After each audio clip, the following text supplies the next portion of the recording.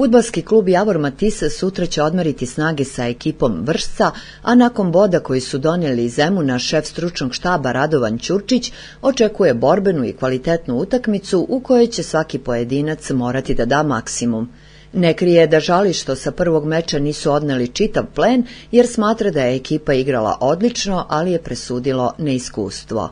Nismo bili dovoljno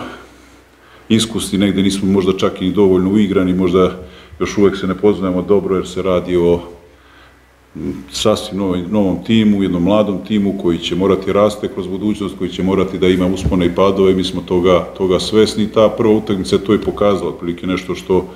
neko naše iskustvo u klubu uh, je govorilo da ćemo ovaj, imati, imati puno posla i čeka nas veliki posao. Utakmica u Zemunu je to i pokazala, nismo došli neporaženi, uglavnom uzeli smo bod jednog teškog gostovanja i čeka nas još, još jedno teže gostovanje. Igramo protiv ekipe koja u ovom trenutku,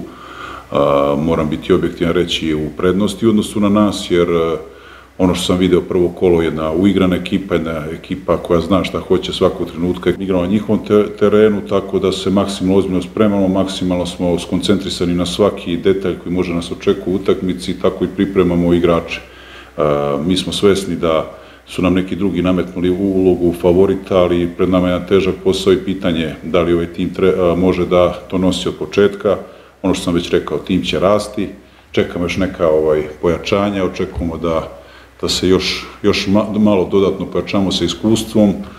Trenutno mislim da će na ovoj utakmici nastupiti pet ili šest bonusa, ali ja imam sve pohvale na rad ove ekipe, na ubeđen sam da će ona napredovati i mislim da će ovi igrači napredovati jer daju sve od sebe i imamo jednu pozitivnu atmosferu i e, to je nešto na, na što se oslanjamo i očekujem da će nam to ovaj, već koliko sutra dati određeni rezultat.